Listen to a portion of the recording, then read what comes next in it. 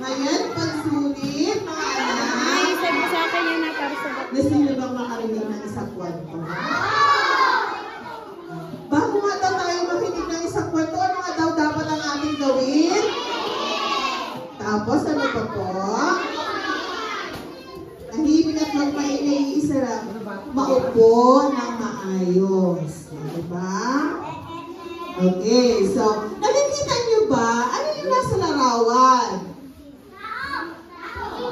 Oh, isang magandang babae. Tapos ano pa po ang nakikita ninyo?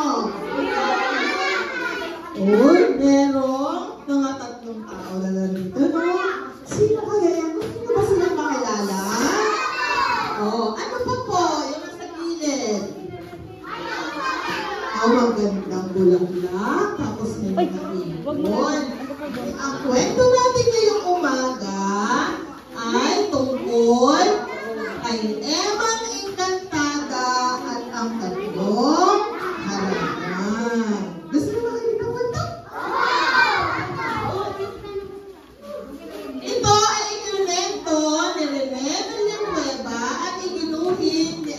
Alfonso Oñate at Wilfredo Polargo. Maganda ba yung drawing? Good. Ready na makinig? Opo. Eh, ito, ito si Imang Encantada. O, si Imang Encantada. Siya ay may pambihirang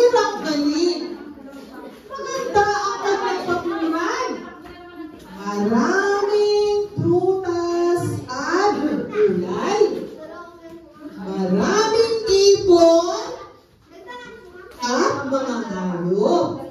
At malinis din ang hangin at ubing. Nakakita na ba kayo na ganitong paligid?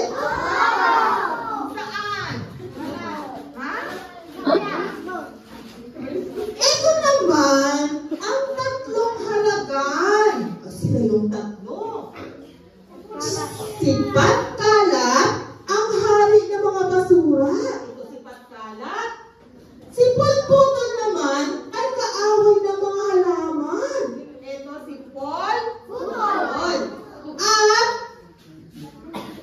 Ang libangan niya ay ang pagpuputol, bunot doon. At si Paswaldas naman, ang reyna ng aksaya.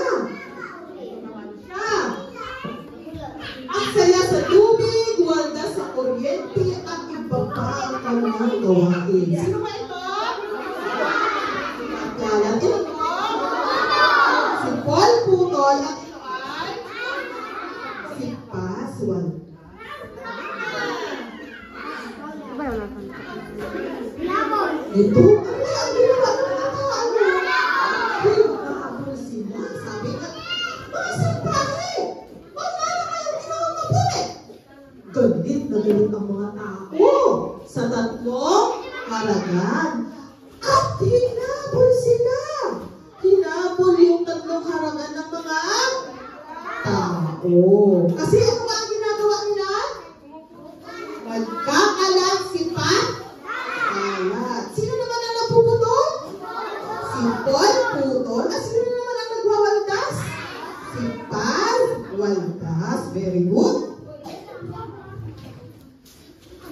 Nakarating ang tatlong halaman sa magandang bakuran ni Emang Encantada. Nakarating sila doon.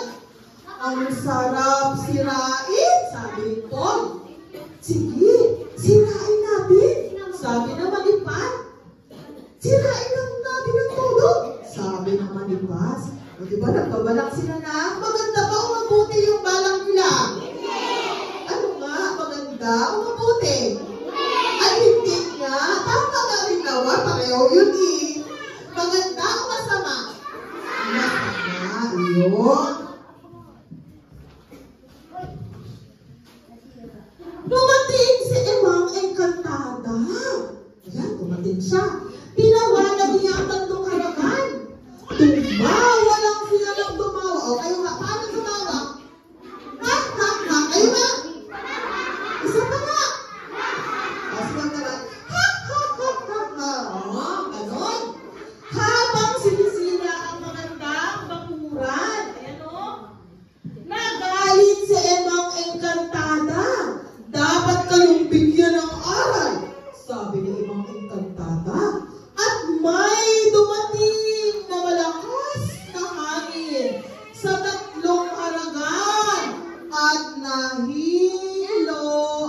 Tatlong haragan. Ito yun, no? Yun, ang nangyari. Yan. Yan, dumating ang malakas na hangin at sila ay hinilo. O yan,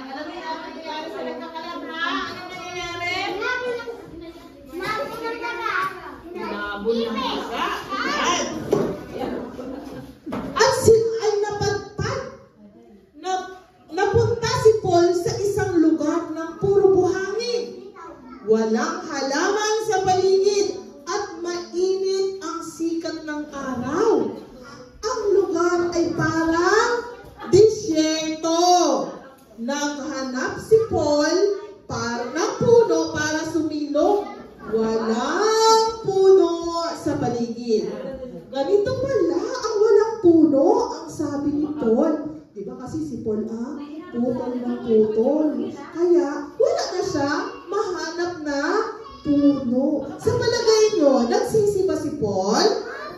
Opo. Yan.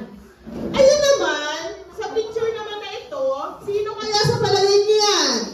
Si Pat Kalat. Ano kaya ang nangyari sa kanya? Tingnan natin.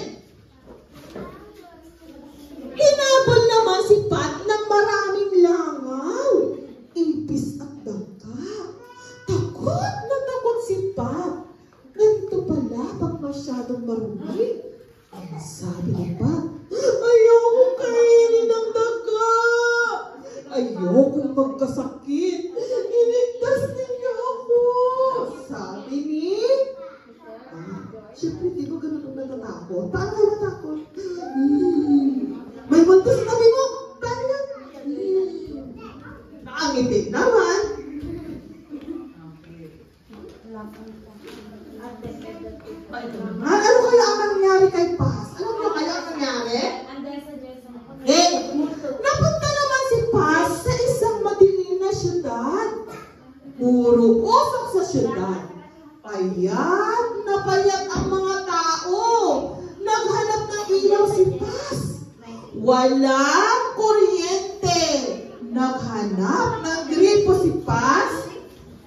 Walang tubig. Tingnan nyo. Gusto nyo maging katulad nito? Hindi. Hindi po. Hindi po. O, ito ang sabi niya.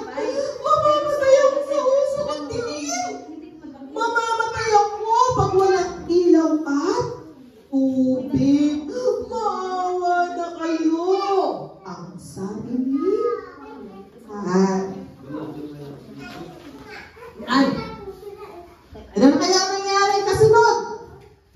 Hindi na po ako magkakalat. Ang sabi ni Pat.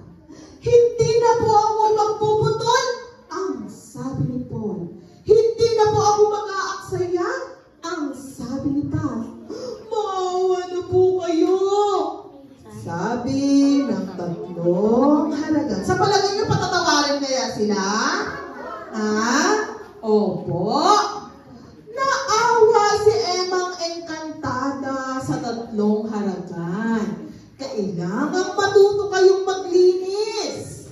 Kailangang matuto kayong magtanim. Kailangang matuto kayong magtipid. Sabi ni Emang Engkantada sa tatlong haragan. Yun ba parusa sa kanila? Opo. Tumulaw ang tatlong haragan kay Emang Encantada. Naglinis ng bakuran si Pat. Nagtanim ng halaman si Paul. At nag-iib ng tubig si Pat. Tumang-tuwa si Emang Encantada sapagkat nagbago na ang tatlong haragan. Nagustuhan niyo ba ang kwento, mga bata? Sino nga ang nagkakalat?